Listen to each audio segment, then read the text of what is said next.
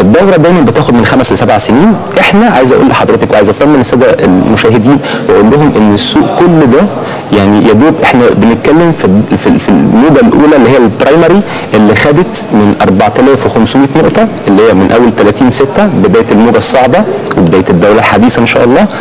اخذنا من 4500 لغاية ال 6500 على هيئة موجة صعبة وبعدين تصحيحه أتت مع تلكك برضه السوق وقتها على فض اعتصام رابعه نعم. ونزل وبعدين طلع الموجة الثالثه ال extended اللي إحنا لسه مخلصينها عند 6500 وإحنا دلوقتي في الموجه الرابعه التصحيحية واللي قربنا نخلصها إن شاء الله فاضل يعني 150 أو 200 point بالكتير وهنبدأ إن إحنا نكون مراكز شرائيه قوية وهيكون إن شاء الله بإذن الله يعني كلام تقييمك خلال هذه الفترة إلى آه، نهاية آه، هذا العام وبداية السنة الجديدة إن شاء الله إيه؟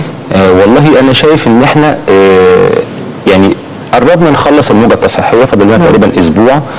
ومن منتصف ديسمبر إن شاء الله هيبدأ السوق ياخد موجة صعود جديدة اللي هي الموجة الخامسة واللي هي إن شاء الله يعني أنا شايف إن هي هتوصل بينا لمستويات آه 6800 أو 7000 نقطة. نعم. آه، الفترة دي هتبقى من نص 12 لنص يناير. آه، تقريبا هتتزامن مع الاستفتاء على الدستور اللي النهارده اتسلم لرئيس الجمهورية المؤقت السيد عدلي منصور واللي إن شاء الله هيكون بداية انطلاقة جديدة لما الشعب ينزل يستفتي على الدستور هيكون حاجة سياسية قوية جدا مهمة للبورصة ومؤثرة بالإيجاب عليه. طب هي آه، نقاط الدعم والمقاومة بالنسبة للمؤشر الرئيسي للسوق آه، لو هنتكلم على المدى القصير أنا دايما بخاطب المضاربين آه، السوق محتاج آه، ال- ال- ال- المضارب المرن الفليكسبل اللي بيتحرك مع الدعم والمقاومة. ده شيء جميل جدا لأن أنا آه، يعني بكتشف آه، حاجات يعني صعبة قوي بيعملها ال- المضاربين والمستثمرين. الناس كانت عند ال 6500 بتشتري بقوة وكان عندهم دايما يعني آه، المتعاملين في السوق بيبقى عندهم آمال زايدة أو بيبقى عندهم طمع. خلينا نكون صراحة واضحين. بيبقى عندهم طمع زيادة. أو بيبقى عندهم خوف زيادة. ما عندهمش حتة الاعتدال أو التوازن ما بين الخوف والطمع. يعني إحنا عند 6500 كانت الناس عندها أمل في 6800 و7000 ورا بعض ورا بعض.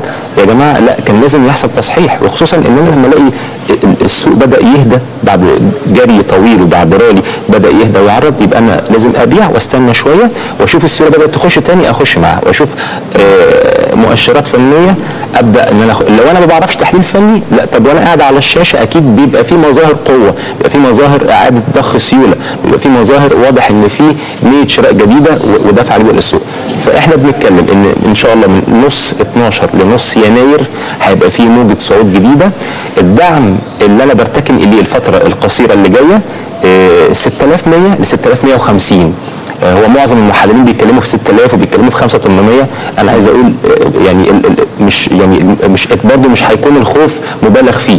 إحنا عندنا حاجتين مهمين جدا آه، برضه فنيين إن خط الاتجاه الصاعد ال major أو الرئيسي تقريبا هيتلامس يعني الفترة القصيرة اللي جاية كام يوم اللي جايين أو الأسبوع اللي جاي. مع مستوى 600 650 عندنا ال moving average 50 يوم برضه قريب من المنطقة دي. أعتقد إن ال 600 مش هتنكسر ممكن السوق يقرب من 600 650 وإن شاء الله هيبقى عندنا المقاومة اللي هي هيبقى منطقة الانطلاقة الجاية 6800 7000 نقطة. ولكن ده ما يمنعش إن السوق ممكن يطلع اليومين الجايين يعني لا ممكن يطلع بكرة حتة صغيرة أو بعده.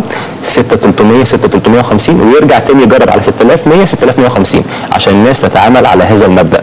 لازم لازم يبقى عندنا السنس أو إن إحنا بنشتغل في منطقة tradable tradable يعني إن أنا ممكن أبيع وأرجع أشتري تاني عند مناطق الدعم الأقوى. طب لو مسكنا مؤشر الأسهم الصغيرة والمتوسطة EGX 70 هنقول إن هو صعد بنسبة 54 من 100% تقييمك لأداء هذا المؤشر إيه؟ آه، المؤشر اي جي إكس 70 بيستهوي المضاربين المصريين. عشان كده إحنا هنلاقي ازدياد في التعاملات المصريين الفترة الحالية والعرب هم دايما بيبقوا interested أكتر لشراء الأسهم المضاربيه واللي هي بيكون صعودها أعنف. نعم. بتكون قوية. وفعلا EGX 70 كان عمل صعود أقوى من من ال EGX 30 الفترة اللي فاتت.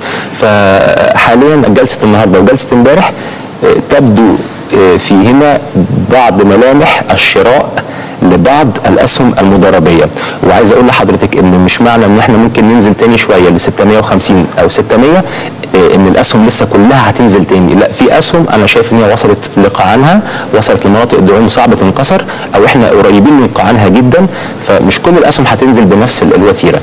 طب بالنسبة للأسهم خارج المقصورة كيف تنظر لها؟ وخصوصا أن في انتقاد لها كثير من قبل بعض الخبراء الماليين. تمام. آه، خارج المقصورة يعني بتفكرني باللي رقص على السلم.